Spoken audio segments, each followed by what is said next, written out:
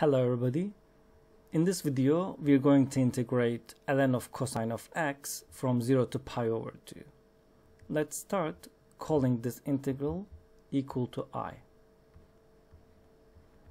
and do u substitution. Let u be equal to pi over 2 minus x. If you solve for x in this equation, x is equal to pi over 2 minus u derivative of x is dx and derivative of the right hand side is negative du. Now we're going to rewrite everything in terms of u. But just before that, we need to arrange the new boundaries.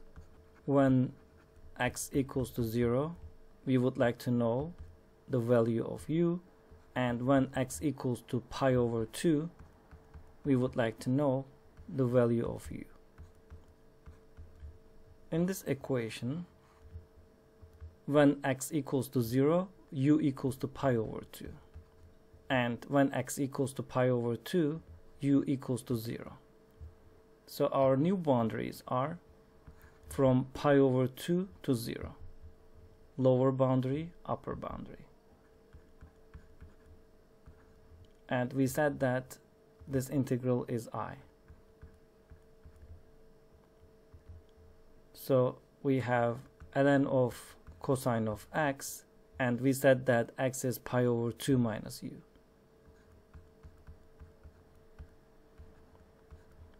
And instead of dx, we're going to write negative du. We can write du here and pull the negative sign in front.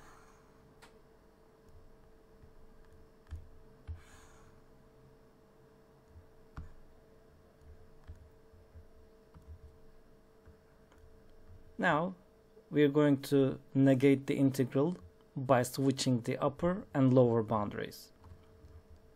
So our i is equal to from 0 to pi over 2. When you switch the lower and upper boundary, you multiply the integral by negative sign.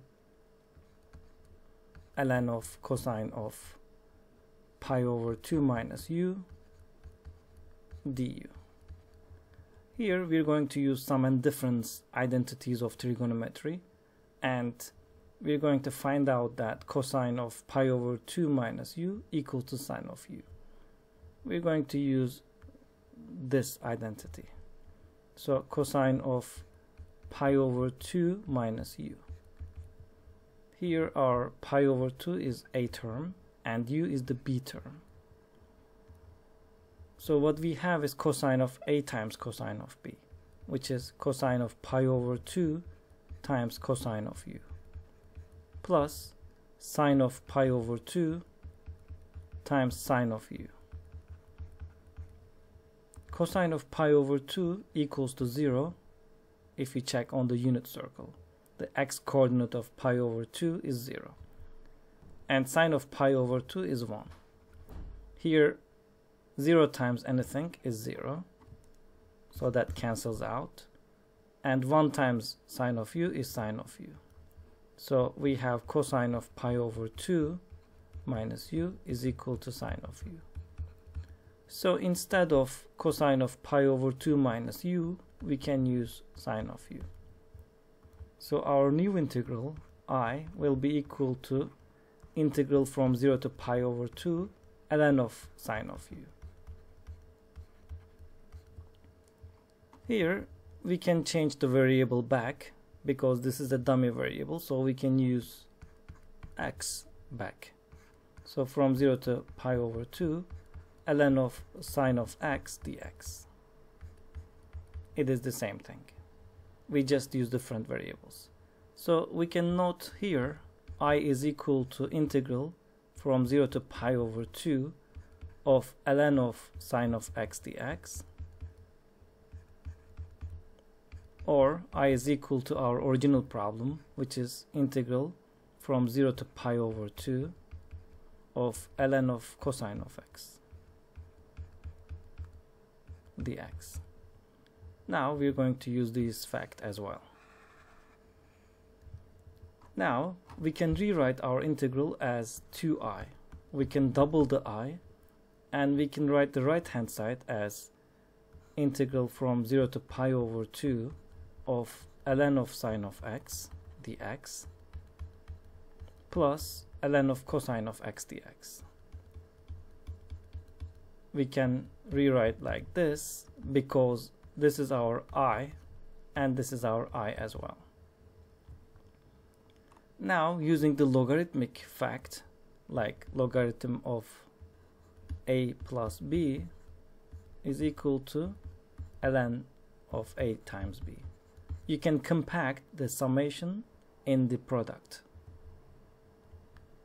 Now our 2i is equal to integral from 0 to pi over 2 of ln of sine of x times cosine of x dx. Here we're going to use double angle identity.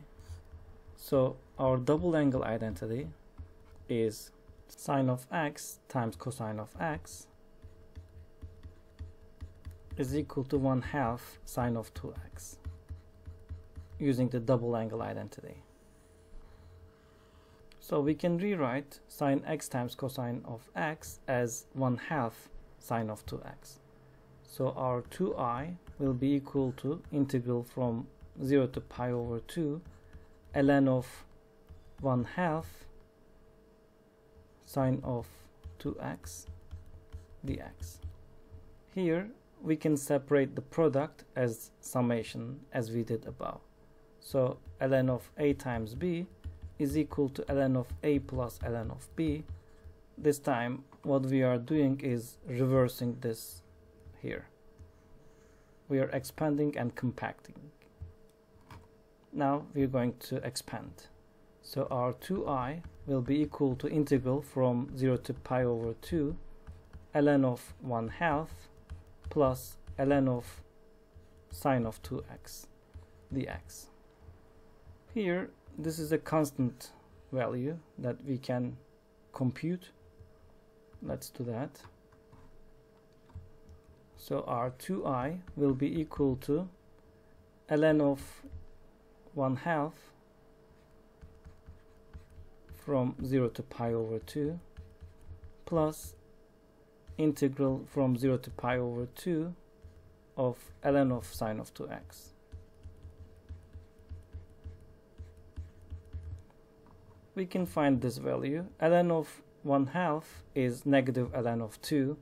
Again, if you have ln of a over b, that is equal to ln of a minus ln of b. In our case, we have ln of 1 half, which is going to be ln of 1 minus ln of 2.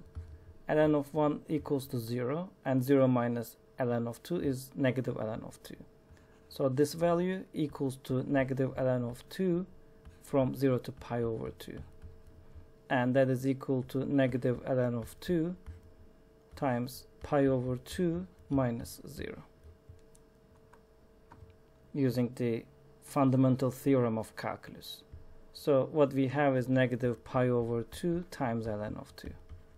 So this value we found is this on the first term and we said that it is 2i equals to this now we would like to solve this integral here from 0 to pi over 2 of ln of sine of 2x dx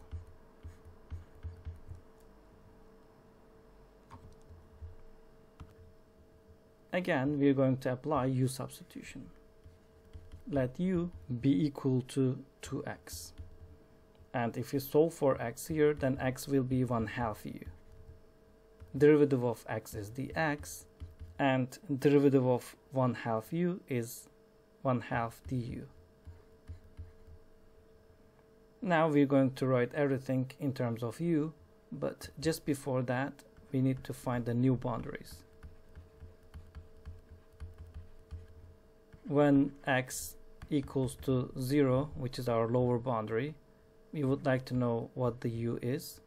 And when x equals to pi over 2 which is our upper boundary we would like to know what the u is.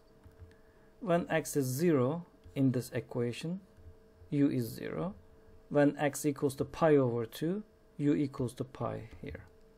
So our new integral is 2i negative pi over 2 ln of 2, what we have, plus our new integral is from 0 to pi of ln of sine of u. Instead of the x, we have du times 1 half. Now we can change the variable here. Instead of u, we can use variable x. So our 2i equals to negative pi over 2 ln of 2 plus 1 half integral from 0 to pi ln of sine of x dx. Now we can separate this integral from 0 to pi over 2 plus pi over 2 to pi. So what we are doing is we are separating this integral from 0 to pi over 2 and from pi over 2 to pi. So 2i equals to negative pi over 2 ln of 2 plus 1 half integral from 0 to pi over 2 of ln of sine of x dx plus integral from pi over 2 to pi of ln of sine of x dx. We know that this integral equals to i as we have written above here. We said that integral from 0 to pi over 2 of ln of sine of x dx is equal to i. Similarly, from 0 to pi over 2 of ln of cosine of x dx is also i. So instead of this integral, we use i. Now, what we have is 2i equals to negative pi over 2 ln of 2 plus 1 half i plus this integral. 1 half integral from pi over 2 to pi of ln of sine of x dx. we will do one more u substitution. Let u be equal to pi over 2 plus x. Then if you solve for x here, x is equal to pi over 2 plus u. If you take the derivative of x, it's going to be the x, and if you take the derivative of this part, then it's going to be du. Now we can write everything in terms of u. Our new boundaries will be when x equals to our lower boundary pi over 2 we would like to know what the u is. And when x equals to our upper boundary pi we would like to know what the value of u is.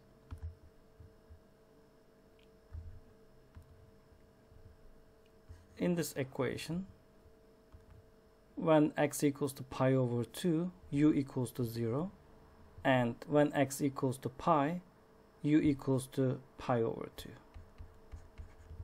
so our new boundaries from 0 to pi over 2 let's rewrite everything. 2i equals to negative pi over 2 ln of 2 plus 1 half i plus 1 half integral from 0 to pi over 2 of ln of sine of instead of x we have pi over 2 plus u du. Again using different sum trigonometric identities sine of pi over 2 minus x or plus x will be equal to cosine of x. So using the same logic, our ln of sine of pi over 2 plus u is equal to ln of cosine of u. If you plug in this in your sum difference formula, calling this a and calling this b, you obtain cosine of u. So we can rewrite this part of the integral as ln of cosine of u and change the variable to the x. so let's do two step at a 1 so negative pi over 2 ln of 2 plus 1 half i plus integral from we have 1 half here 0 to pi over 2 ln of cosine of x dx and we said that ln of cosine of x dx from 0 to pi over 2 equals to i.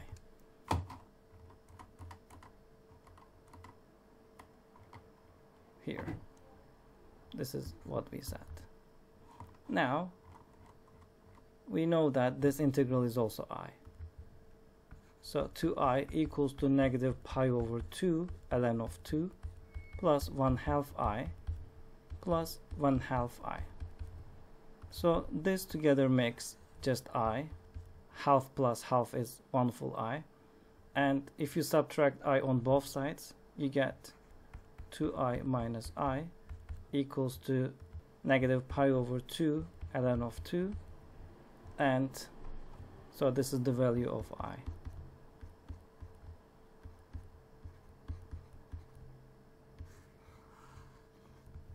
So now we know the solution of our integral which is negative pi over 2 times ln of 2